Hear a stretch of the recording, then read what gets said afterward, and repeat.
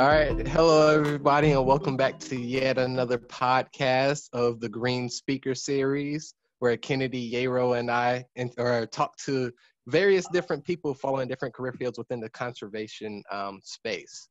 Um, and so today we have Bree Jameson and Sonia Meyer. Um, and Kennedy, did you want to introduce them? I would like for them to introduce themselves today. You know, they come from a unique background high energy, um, great, great, great people, phenomenal, you know, what they're doing as far as you know, diversifying the field that a lot of you guys that are listening and watching may have never heard of that it actually exists. So, Bree and Sonia, you guys have the floor for your introductions. Okay, I'll go first. My name is Bree Jameson. I'm the chair of the Diversity Committee for the National Speleological Society, and I'm the founder of More Outside, otherwise known as Minorities in Outdoor Recreation and Education. Uh, my name is Sonia Meyer. Uh, I have several different titles, but I guess most recently I am the newly elected director of the National Speleological Society. And if you're not aware, speleology means the, cut, uh, the study of caves. Um, and the National Speleological Society, or we'll probably say NSS, is the organization, uh, the national organization that covers the study, the exploration, conservation, education, outreach, all kinds of stuff uh, related to caving. Um, let's see. And then also locally, I'm the treasurer of my grotto, and we created a diversity scholarship for expedition caving. Awesome, awesome. That's, That's really cool. Awesome. that is cool. So, is it possible for me to just say NSS, or should I say? Yes. Yeah, I think that'll be for everyone. got you. Got. a mouthful. and how long has that organization been around? because I've never heard of it before. You know, uh, I believe it was founded in 1941. So that's, let me see if I, 80 a long years. time. Yeah. yeah. you got it, Kitty. A long Yeah. time. wow. Wow. Um, so my first question to you all, which I think would be, uh, which I imagine is most people's question to y'all, is like, how did you get into uh, Okay, is it speleology? Like, you can just say caving. Caving. Okay, I'll say thank you. Caving. Caving. How did both of y'all come to get into caving? um, you want to start, Bree? Um, I have a really funny story on how I got into caving. So I actually saw the movie The Descent. I haven't seen the movie. You're spoiling it for me. Oh. I'm just kidding. It's a good movie. It's a good movie. Watch it anyway. Watch Yeah. with one eye open, one eye closed. There you go. So I, I lost the my connection, I guess, there for a second. Sorry about that. Um, but uh, the movie is just really crazy, and um, I remember watching it and immediately being drawn to um, the scenery and the setting, and I was like, "Oh, that exists! I need to go there!" And so I like started looking it up online, and I was like, you know. I'm gonna let um, Sonia answer the question, and then I'm gonna switch over to my uh, cell phone connection, and I'll see if that's better. that works. That works. Okay. So Sonia, how did you hear about this field, you know, of caving? Please tell us, you know, elaborate on who who introduced you to this field because we want to know. yeah. Absolutely. So I was in college and I was studying abroad at Oxford University. So I was in England, and caving is much more popular there. Unlike the US, um, if you say caving or potholing, everyone knows what you mean. Whereas here, they're like, what? Um, so they had a caving club, and uh, kind of like Bree said, as soon as I saw it or like knew that that was a thing, I immediately felt this drive like, I need to do that. Um, so I joined the club, and the club actually was just drinking at a pub every week. Um, but they did organize one caving trip, and it was the most fun I had had in my life. Um, and then I actually moved to China for three years and didn't think about pursuing it. Um, and when I came back to the US, I always remembered that one experience that I had, you know, several years ago. And uh, like Bree, I started Googling it. I found the NSS, and they have a function that says find a grotto near you. And a grotto is like a local chapter of cavers. And so that's usually the entry point into caving is you find a local group um, who will teach you about the skills that you need, um, as well as, you know, take you on trips. Because um, it's, you know, it is a dangerous sport and you have to do it safely. Um, so it's important to have uh, people guide you on that process. So I found my grotto in Virginia where I was living at the time, and they were very welcoming. I started caving at first once a month, and then it just kind of increased till where I was caving every weekend. And then I found myself caving every weekend for two years until COVID. so, yeah, it just kind of um, ramped up and I just didn't stop from there. Um, and are there a lot of grottos in the US or is it kind of more so where it might be like one per like uh, state or region or something like that? There are a lot of grottos. It depends on your area. So I lived in the DC area and now I live in the Bay Area. So big mo- metropolitan areas can have multiple grottos. So in both cases, there's three different grottos. So I kind of interacted with all of them. But in some other areas, there might be one. Um, I think Bree is in the Bexar Grotto in Houston. Is that right? Or San Antonio? So I'm in the Bexar Grotto in San Antonio, and then um, I'm also a member of the Underground Texas Grotto in Austin because I tend to go to Austin between like Austin and San Antonio quite a bit for like rock climbing and acro yoga. So. Mm-hmm. Yeah, so the grotto there's more grottos in areas that have more caves, obviously. So like the state of Montana, which is not a very populous area, has one grotto for the whole state. And oh, they wow. have wow. online meetings and then they have a once a year get together. So it, it's very regional specific. Got you. I can appreciate this terminology too, because this is all new to me. A grotto, you know, we're using yeah. different terminology. So yeah. I'm kind of feeling like, okay, this is a community that now I can start researching myself to see what's here in Atlanta. When you say a grotto, is that something like a is it like an affinity group, like a secret society, fraternity, sorority? Like what exactly do you have to do to can you google a grotto? Do you have to know somebody that knows somebody that knows somebody? Um, yeah they are they're a little bit secretive and the reason why is because cave conservation is very important. You know when you think about the world the natural world above ground things change and recover much more quickly than they do underground so for example, a stalagmite underground, it grows at the rate of 10 centimeters every thousand years. So wow. some stalagmites are like 190,000 years old. And for that reason, you really need to protect those environments. You know, above ground, you can chop down a tree, it'll grow back in a few years. Underground, we're on the scale of like tens of thousands of years. Um, so for that reason, there is a little bit of secrecy in the effort to protect these extremely delicate and important environments. Um, so I think that's an issue for the NSS and the cave-in culture is balancing secrecy and conservation and protection, and then inclusivity and welcoming new people. Um, but there's a there's a good reason behind it. Um, but yeah, so the local, you can think of them as like clubs. So they're local chapters of people that are passionate about caving, and each one is unique. Mine will have a monthly meeting where we have a presentation about something related to the field of speleology. And then we organize trips throughout the year.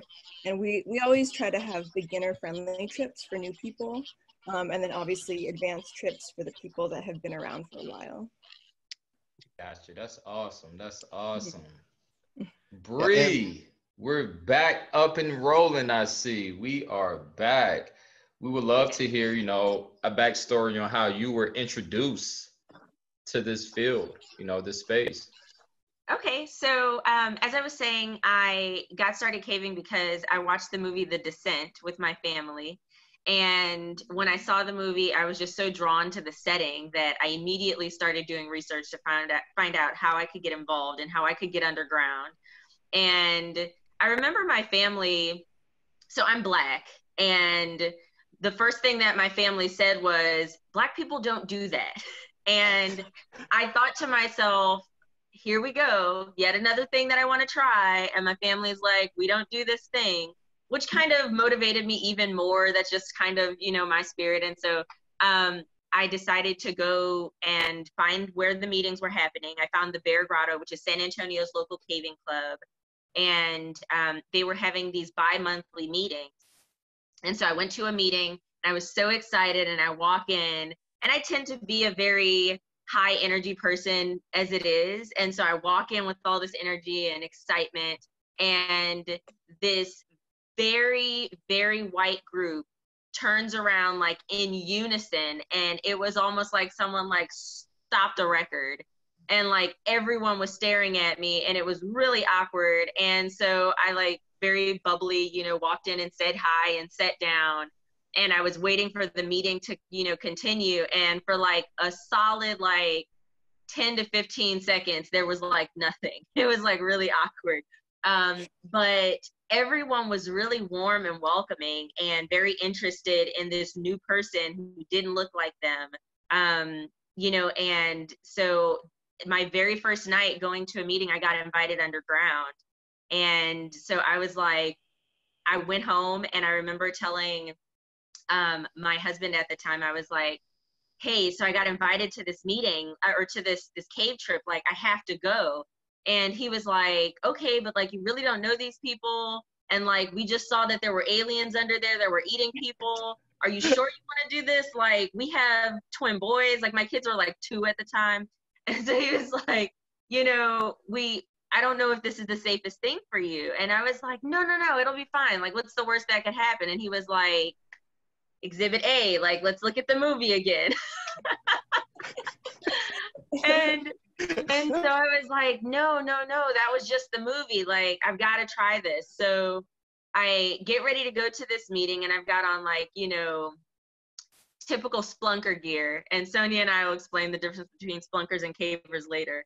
But I look like a total spelunker, and I go and I meet up with these guys, and there's this cave literally in the middle of the city, surrounded by a subdivision and mm-hmm. we go and drive into this alleyway and i mean it's it's nighttime it's like eight o'clock on a weeknight and we drive into this alleyway we they give me this gear to put on like all this safety gear so we gear up in the dark behind all these people's houses and i'm with like a group of maybe like i think it was like four or five very big burly white men yeah. and i'm not a very large person and they're like okay the sinkhole's over there so we don our headlamps and we start walking into the sinkhole, and I'm literally walking in the ground, like into the ground, with this group of white men that I just met the night before. And everything in my body is telling me, like, it was almost as if, like, have you ever seen a movie and, like, as you're watching the movie, you're like, oh my gosh, like, don't do that, don't go in there. Yeah. I was experiencing yeah. that. And then I was like, this is crazy like and but i did it anyway and i had the most amazing time and i fell in love with caving and i've seen some of the most beautiful natural formations that i'd ever seen in my entire life and i was hooked ever since then so wow wow to go from that warm embrace with people that have no clue as far as you know your background um that don't even look like you to be yeah. you know frank and you're going in a cave which I'll assume that there's no cell reception or anything in the no. cave. Uh-uh. No. So that's at night too. that's courageous for that to be your introduction to you know this space. That's very courageous. Thank you. yeah, and so I wanted to ask, um, so like, how how how do you know when to when to turn around? Because um, I would imagine that like a lot of these natural cave formations that they can just keep going and going. So when you're down there, um, is there ever a point where you just get like, nah, that's too far. I'm not going anymore. Maybe spelunkers do. Why don't you explain that term, Bree? yes, please. Yes, so please, because I have no clue what that is, and I've heard you guys use that terminology too. I'm making a mental note, spelunkers. so um, it's just a, a cute little term that we affectionately use. So most people, when they think of caving and they want to try it for the first time, they think, "Oh, I want to go spelunking," um, and they think that they're a spelunker. And there's a saying in the caving community that cavers rescue spelunkers. And so cavers, we kind of, you know, regard ourselves as the experts. We're the people that will make sure that we take all of the safety precautions plus more. And, you know, we do it in the for the sake of conservation and science and our recreation is always responsible.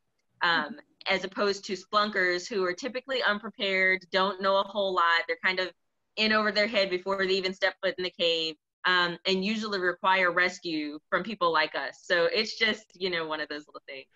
Yeah, one good example is like cavers always wear helmets in a cave, and a spelunker would probably not wear a helmet. yeah. Um, and sort of along those lines, um, so I assume that then cavers are the ones who actually like go in and map out the tunnels. Um, mm-hmm. and then I believe like I had an experience like a while ago where we went to a mountain and went into um, a cave. And so mm-hmm. I also assume that like cavers are the ones who set up like this is where it's safe to walk and this is where you don't go unless you want to be stuck down here for a while. Mm-hmm. Um, so I know you both are doing volunteer work, but is that something or an aspect of the um, caving expedition that you've had to do where you're down there like exploring uncharted territories? Mm-hmm. Yeah, I can talk about this. Um, I last year I spent three months on expeditions, and again, it is not paid work. um, uh, usually, when people become so obsessed with caving that they devote their lives to it, we call them cave bums. So I became a cave bum last year where I worked as a substitute teacher. So I kind of made um, enough money to buy gear, to buy, um, you know, travel and pay for food so that I could go off on these expeditions. And um, yeah, we, you know, we map the caves out. Um, mapping a cave is really important for resource management. You know, if you don't know where the caves go, how can you manage your resource? So in terms of when you think of like federal caves like Carlsbad Caverns, Wind Cave, you know, the national parks.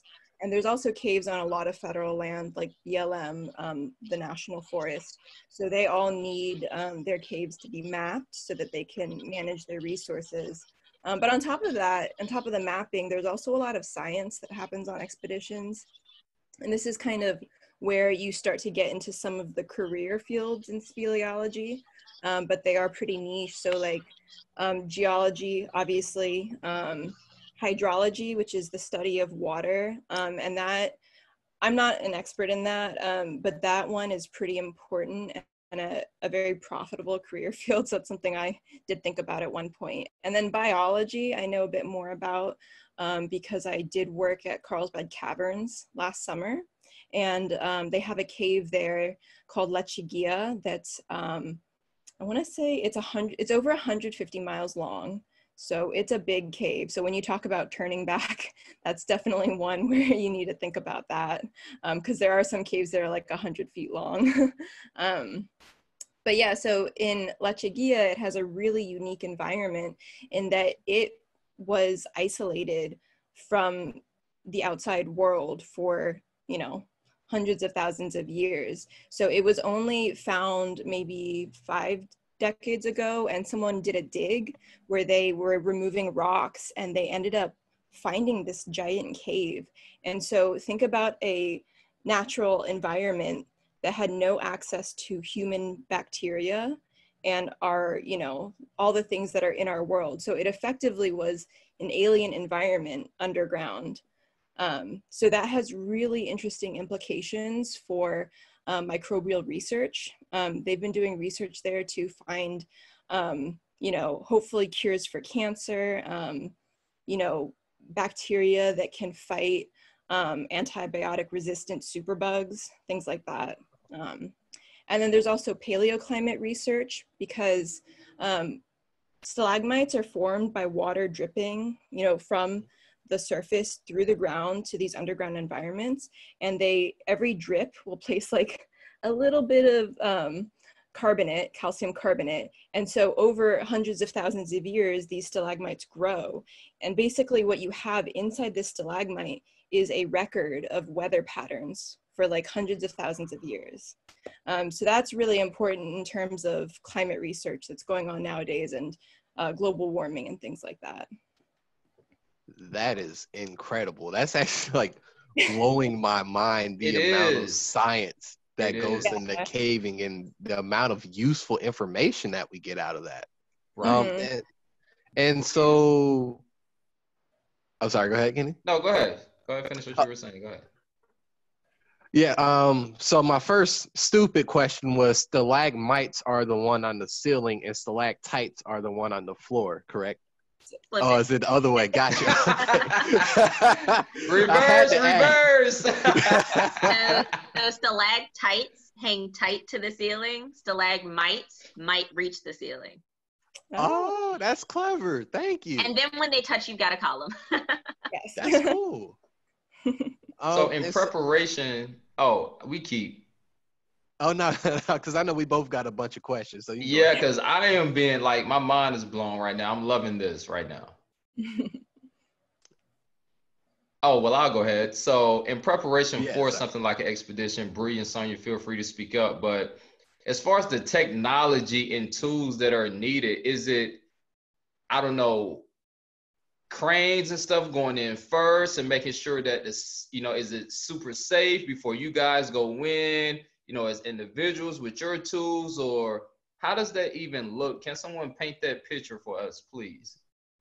Yeah, I can talk about that. So, um, actually, the tools that cavers use are not that sophisticated. Um, we mostly go in with headlamps. When you're mapping the cave, um, you can, the older technology was to use like an, just an actual compass, an inclinometer, and then a tape measure. So it's pretty old school, but more modern technologies exist called a disto, and it's just a little point and shoot, and with like it has a laser and with one shot you can get those three measurements um, immediately. Um, but in terms of the mapping of it it's still mostly done by people especially because um, there just isn't the money for the smaller caves to use the more advanced technology lidar does exist and is used to map caves but it's pretty expensive and time consuming so Unless Carlsbad- you make your own. have you done that We're working on it. oh wow that's amazing We're creating a cavatron. Ooh, Wow. yeah. So um, uh, LiDAR has been done in Carlsbad Caverns and some of the more um, significant cave systems. So that does exist. And um, there is research going on right now to try to create an autonomous vehicle that can go through caves. Um, DARPA, which I forget the exact acronym, um, but it's like a government military research agency. Um, they actually put a call out a couple years ago asking for people to develop these autonomous vehicles to move through caves. And I think most of the designs are a drone. Um, and they, as I understand it, they want to eventually, um, I mean, it's probably secret what they're really doing with it, but they are trying to create these vehicles to explore the caves on Mars.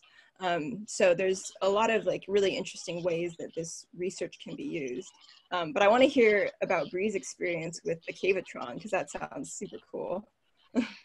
so there's um it, it's there's a benefit to being in various grottos. Like each grotto has like various things that they're really good at. And um, here in san antonio we've got southwest research institute um, and we have a lot of amazing little tech nerds who are able to create these cool things for us here. Um, and so between the underground texas grotto and the Bexar grotto um, we've got some brilliant um, technologists and engineering minds um, so, for instance, like one of our um, grotto members in the underground Texas grotto is an aerospace engineer who is creating this artificial intelligence um, kind of drone that will go to like the moons of Europa and be able to try to find out if there's life beneath the ice crust.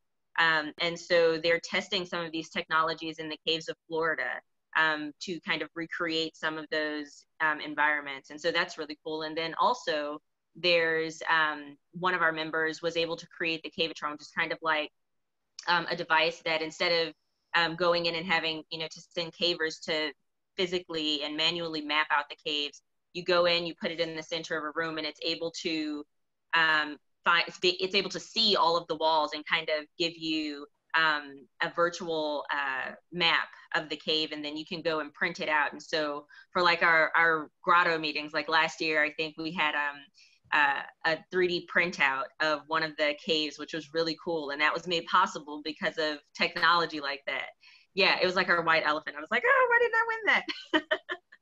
But um, yeah so so things like that and that technology is public not uh, public publicly accessible. So um, you know you can take that technology and go and build your own and it's much more affordable. And so um, you know having one person on the on your team who has something like that available and you know there may be another person who you know brings other gear but um, as a team just to talk about what, what sonia was um, speaking on as far as like what tools we use. Um, everyone kind of just comes together and brings everything. We pool all of our various knowledge and tools together to get these caves mapped, to find out what kind of cave biology is there, to study the hydrogeology, and so just to get the job done. Mm-hmm. That's awesome, that man. Thank you for making that, for painting that picture for us as well. And this may be a stupid question, you know, like I said, I'm still learning about this community. You guys are doing a great job of enlightening, you know, our viewers and our listeners, you know, on what to expect and, you know, very, very informal as far as, you know, what caving is. So do you guys actually run into people who are quote unquote doing it for the wrong i wouldn't say wrong reasons but they have a different agenda when it comes to caving let's say for example someone's caving for different gems of gold or oil or you know for for their own personal gains versus preserving you know the nature of you know what exactly you know it is here that's underground and you know the history and research behind it mm-hmm. well i can say um I have a couple times run across people or groups that will uh, try to turn caving into like a commercial business and charge people to go caving. And I would say that's kind of frowned upon in the caving community. You know, we all do this for our passion and love and most grotto like i would say all grottos would never charge you money to learn a skill or to go on a caving trip. And in fact some will probably try to cover costs by giving you gear or giving you a ride. Um, that being said like i try not to be too judgmental of people that do charge money because i think some people might feel more comfortable like if they think that money is being exchanged they might feel safer. And if that's how they need if they need that reassurance to go into that scary environment you know um i don't know. But yeah i would just say generally that the idea of charging money and doing it commercially is kind of frowned upon. Yeah. Um, and I had another question in regards to the conservation aspect of caving because um, I know you mentioned like finding caves that haven't been exposed to basically like our atmosphere within like a mm-hmm. hundred thousand years. Um, so I guess mine was kind of a two-parter. Was first of all, like when you go into a new cave system like that, I imagine you can't wear like a hazmat suit to prevent like contamination or anything like that. Um, so like, what sort of gear do you have to wear to protect that ecosystem?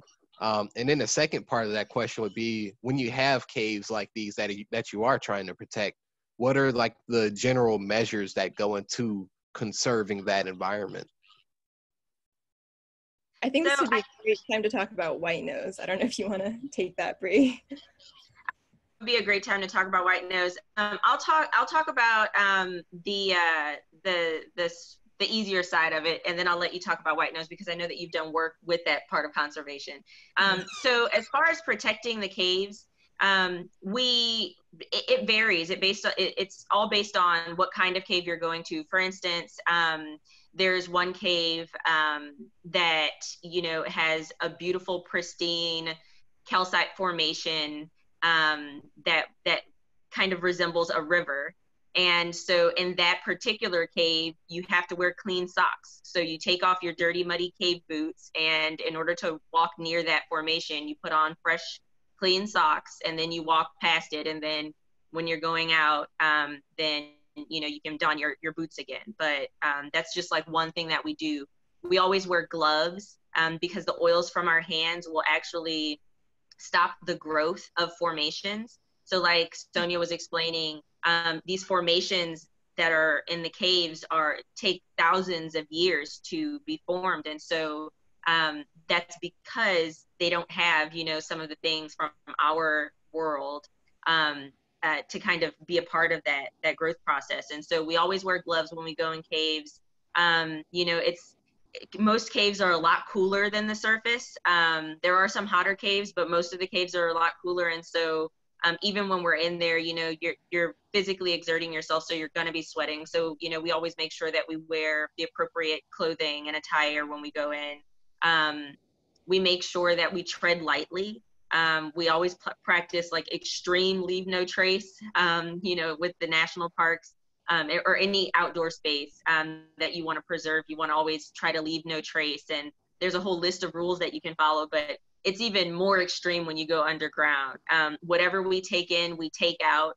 Um, if we go in and we see, you know, anything that shouldn't be there that, you know, may have been left by spelunkers, um, then we'll make sure to pull it out and do any restoration that's necessary. Um, but there are things that require more protection. Um, for instance, like um, a lot of the biology in caves. And so there um, is a really big issue called white nose syndrome that's impacting the bats that are found in these caves. And I'll let Sonia talk about that, but um, it's a really interesting scenario that we're dealing with. Yeah, so um, white nose syndrome is a fungus that came to the US, I want to say in 2010. So it's been around for over a decade. Um, and it what it does is that it infects the bats and it creates this white fungus on their noses. So that's why it's called white nose syndrome and it tickles their nose and it makes them wake up during hibernation. So bats hibernate in the winter. If they wake up, it they will be hungry and they'll fly out of the cave looking for food. But it's winter, there's no food, and so they die. Um, it's very contagious. Um, bats, most bats, um, I don't know what the right term is, but they they're in like these tiny little huddles. Like you'll have a one by one, you know, a foot roost. space, and that's like a bats, a roost, yeah.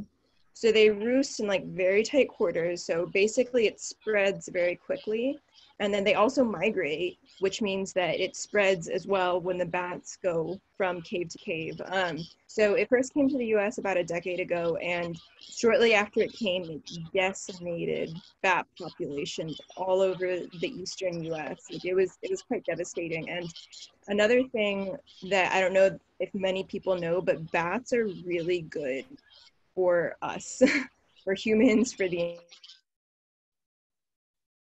and um, they're natural pollinators, um, you know, of, our, of the world. They eat pests, so they save like thousands and thousands of dollars in agriculture. If we had more bats, we wouldn't need pesticides, and our food would be healthier. So like, there's so many benefits to bats, um, and they were decimated. So it was a very bad thing. Um, and they were concerned that humans were contributing to the spread of this disease. So one of the restrictions to prevent the spread of white nose is that um, you they kind of organize it by states, but you know whatever um, if you cave in one state, you cannot bring that gear into another state into a cave. Um, so you either have completely separate sets of gear, or you go through this very um, like lengthy sanitization process. Um, so I usually, if I do it, I do actually have multiple sets of gear because I'm pretty invested in caving. Um, but if you wanted to, Um, you use like hot water, uh, Lysol will kill the fungus, and then UV as well. So I do all three.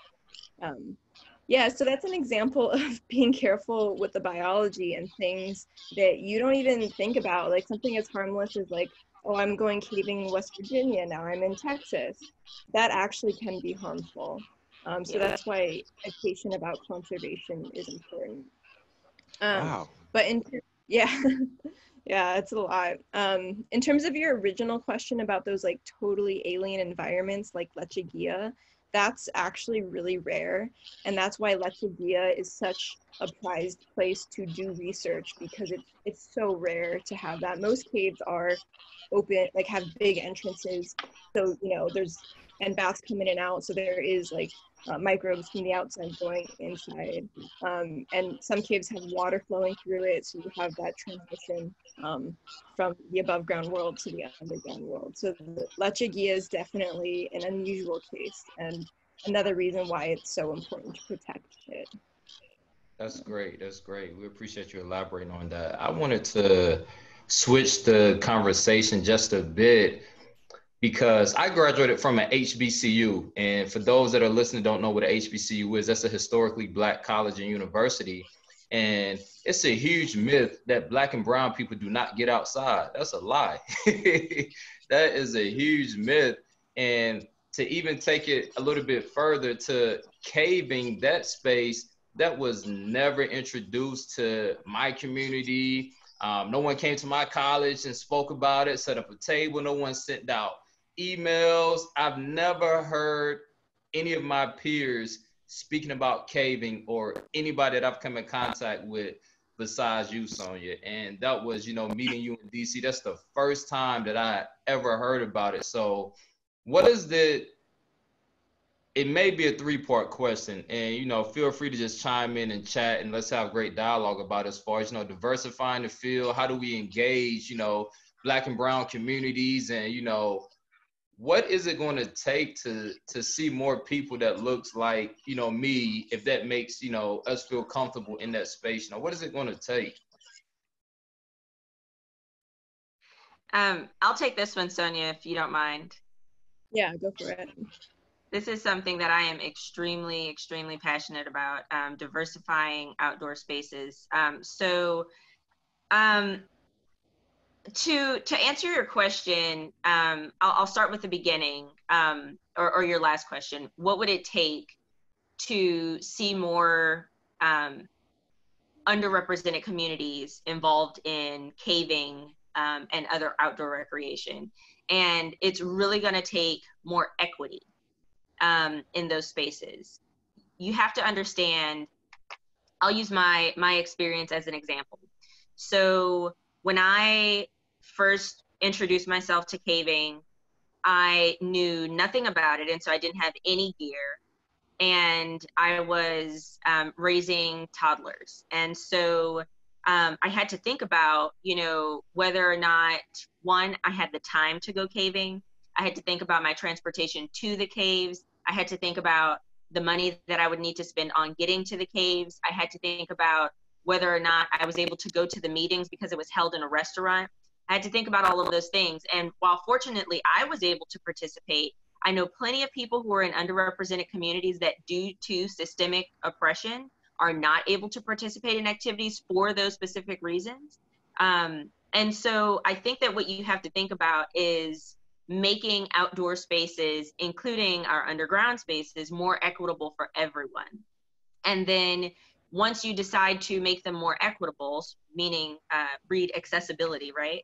um, once you do that, then you also have to start thinking about how you can make people feel welcome and, and, and involve inclusion in your conversations.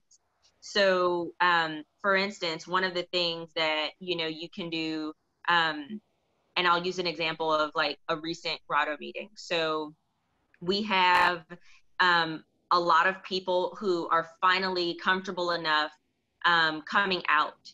And so their sexuality may not be the normal gender binary. Um, and so i think that you know because of that some of the things that we can do are like using uh, introducing ourselves with pronouns. So just you know that's one thing. Um, but thinking along those lines of what can i do to make people feel welcome that is beyond hi come and do this with me. Um, because while we may think that we're being welcoming um, interpretation is far more important than intentions. Um, so th- that's you know another thing that i can think of. Um, i think that in the caving space um, what we first need to do before we start working on those things though is challenging our own internal culture. Um, and that's not to say that something is wrong with our internal culture. It's just to say that there's always room for improvement when you're talking about diversity um, as we have seen you know in so many different parts of today's society um, so when it comes to caving challenging our own culture making sure that these conversations are being had with people who never, ever, ever, ever have to be the only person like them in a room or in a group. Um, you know, making sure that they're aware of the things that we have to think about all the time. Um, and so it's you know it's it's good work. It's work that makes you feel good when you start making progress, even if that progress is small.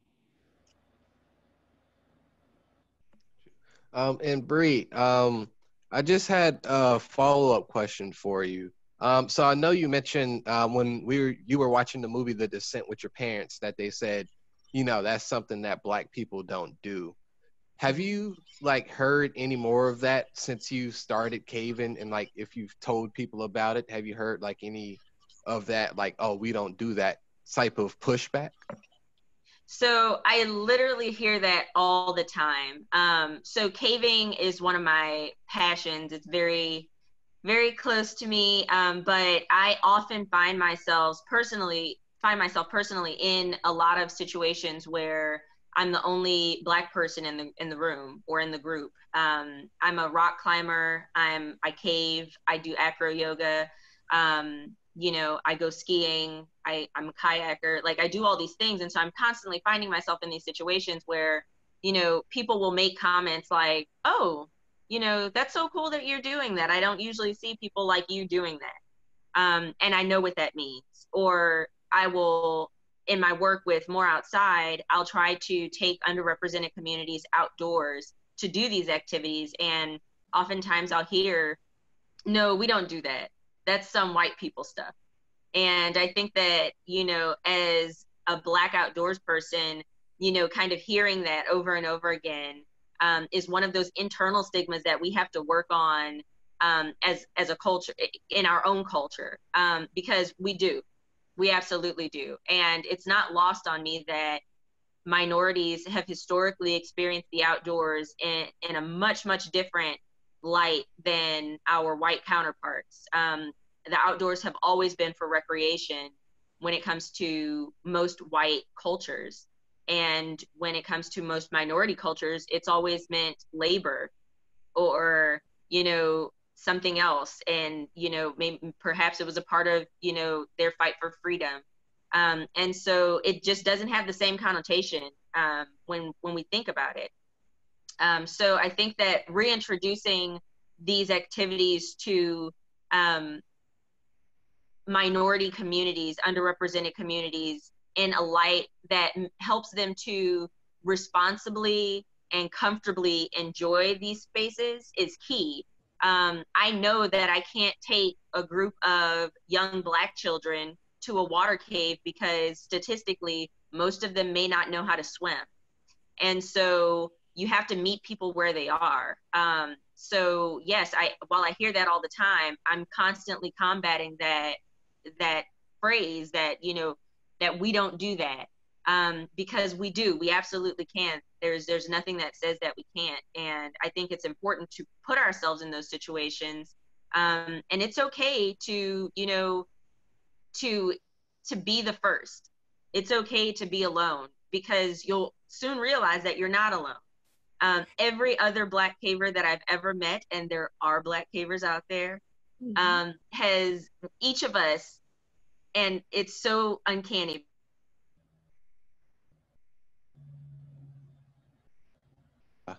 Hang on, you muted.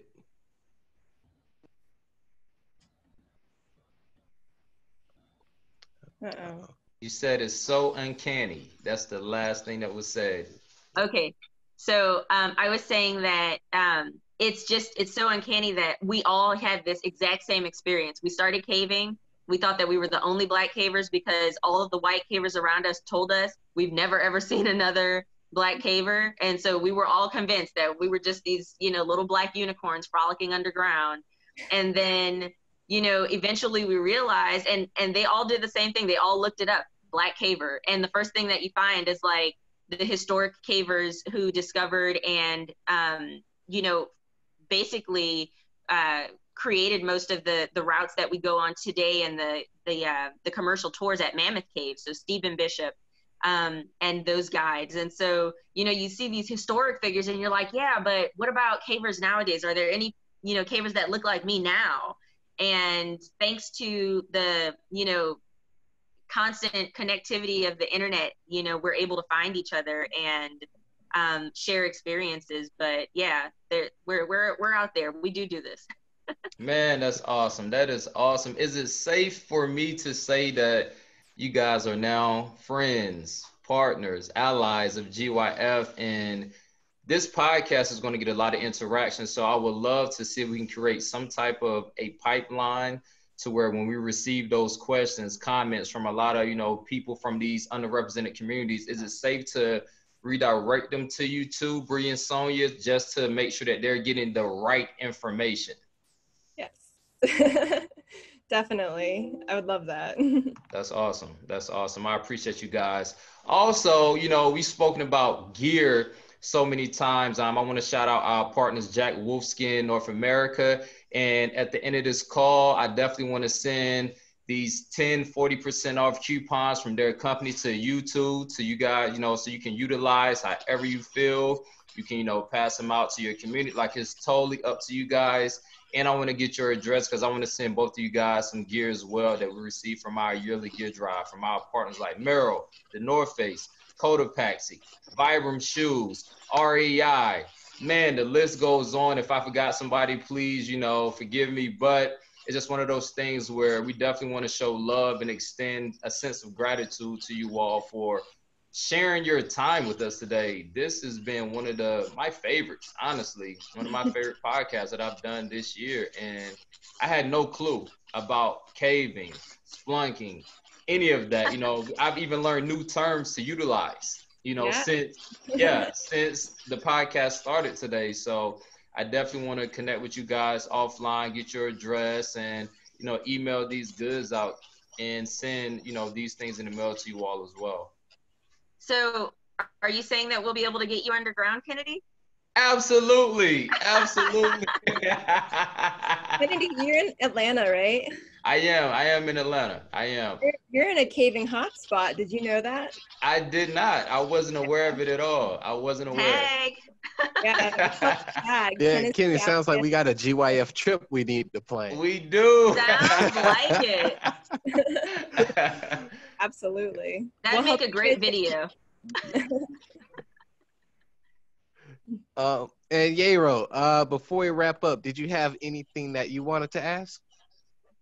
Um, I guess I just wanted to ask basically, since you guys pay attention so much to the biology that goes on within caves, um, where do you think that the next generation can devote their attention to when it comes to caving? Did you say when it comes to caving or cave science? Caving, yes. Okay. Hmm, that's a good question. I think one area um, would be more outreach education. So, for instance, one of the things in conservation that we're dealing with um, presently in our area are developers wanting to um, build and you know create you know more human footprint in areas um, where caves are. And it's very it's caves create these very very delicate ecosystems.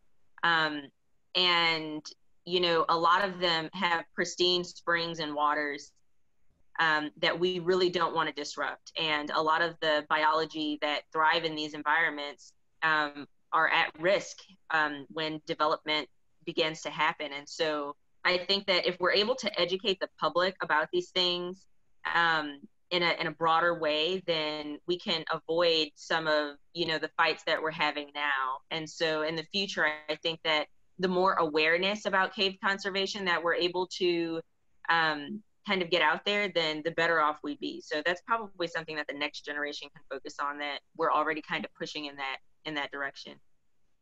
Yeah, absolutely.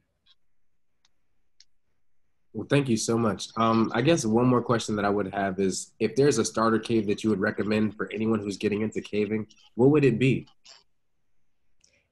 That depends on your area. I think if you wanted to get into caving, I would go onto the NSS website, caves.org, and do the find a local grotto. And you can just put in like your address or your town, and it'll tell you the nearest grotto to you. Um, but yeah, I think I think that's the best way to get started is to find a grotto near you, and then they'll be able to tell you a beginner cave in your area that's appropriate. Yeah. Well, thank you so much. That's all the questions I have. Any closing remarks? Anything you guys want to share? Any nuggets you want to drop on us in closing? I'm just, I don't know, I'm really passionate about caving. I love caving and the idea of getting more people underground and helping them understand these amazing environments is very exciting to me. So I'm really happy that we did this podcast. If any viewers out there are interested, um, I don't know if you have some, you can contact GYF and send them our way, but um, the caving community is very um, welcoming. And, you know, if you come my way, I'll definitely connect you with people in your area. Go ahead and plug yourself. Plug your social media, whatever it needs for them to get in contact with you. Go ahead and plug yourself. Go ahead. Okay. Uh, well, our website is caves.org. It's being redesigned this year, which we're very excited about. Um, I don't know. What's the best way to get in contact, you think, Bree? I'll give So my I personal. think, um, yeah, I think that the best way is to um, everyone's on social media nowadays, and we are getting better at it. But right now, you can reach us on Facebook um, at National Speleological Society. Um, I know that that's a a lot, but um, we also have a National Speleological Society community on Facebook that's pretty active. Um, and just don't be afraid to reach out. I know that you know when you first get into caving you you don't quite know exactly where to go but um, if this is something that sounds interesting to you and you'd like to learn more then don't be shy. Go to thecaves.org find your local grotto reach out. Um, there are people who would be happy. We are everyone that you meet in caving is going to be just as excited about it as sonia and i are. We are not unique in that. Um, and so you know when people are excited about things they want to share it. And so just reach out and don't be afraid to try something new because you will not regret it at all. Love it, love it, love it, love it. I definitely wanted to take the time to acknowledge um, Representative John Lewis and his passing. We definitely want to send our condolences out to his family, friends, and loved ones. Um, he's a huge advocate for you know the outdoor community and spaces as well. So we definitely wanted to tell you, you know, we love you, brother, and you know, sending our sincerest condolences out to his family, friends, and loved ones. Thank you. And thank you again, Sonia and Bree, for being on our podcast. We know that you all are super busy, so we just really want to take the time to thank you for really just educating us on what caving is and what the science looks like, what you do, and just like that entire process. Because I think that's something that really none of us at our organization really knew too much about. So this has been really informative. And honestly, I feel like we could like start a class just on caving and like what that is and you know, just educate the masses, you know. Um We're working but on yeah- that. oh really? Yeah, if you guys actually want to do that, definitely let me know uh, or let us Yeah. know. Oh, Yeah. that would be really cool. All right. Well, it looks like we might we might have something in, uh, in the works then. Sounds good. yeah. But alrighty, thank you all for being on our podcast today. Um, I see it's eight o'clock. Um, so I just wanted to go ahead and wrap up. We didn't want to keep you all too long. So this was awesome. This is definitely one of my favorite podcasts as well. You know, we might need to do a second one because I still got more. we should do a follow up Big- after we get you guys underground. Absolutely, absolutely. oh, there we go. There we go. Sonia, I hear a trip See, to Kennedy, they tag. probably have one at Stone Mountain. Dude, Yeah. this COVID is over. I'm all over that. Yeah. Whatever that is. yeah, I, I want y'all to take me to one of y'all's fancy caves too. I want to see like all the all the all the untouched Elephants? earth, you know. But alrighty, folks, that will do it for this episode of the Green Speaker series. Um, you can check us out at YouTube, and we also have our playlist on SoundCloud and Apple Podcasts as well. So yeah, please share this within your networks. Big thank you to Sonia and Bree, and that'll be all for today, folks. So thank y'all and take care. bye bye. have Have a a great good one.